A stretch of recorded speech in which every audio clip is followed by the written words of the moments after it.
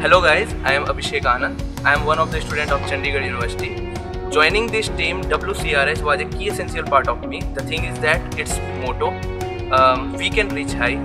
The uh, spirituality level of the students makes me to do it and the thing is that whenever I am focusing on something new ideas, something uh, broadcasting which is eventually one of the most important part of uh, new technologies, we can reach it. And the thing is that uh, whenever we are doing uh, some of the innovation whenever we are doing some of the um, skillful skillful things we think that uh, a teamwork we think that uh, a portion of the team which are included are within us. And uh, uh, some of the keen interests that I have are Java programming. I am pretty good in Apache recordings. And uh, the thing some of the best thing that I have done in my life is cryptography.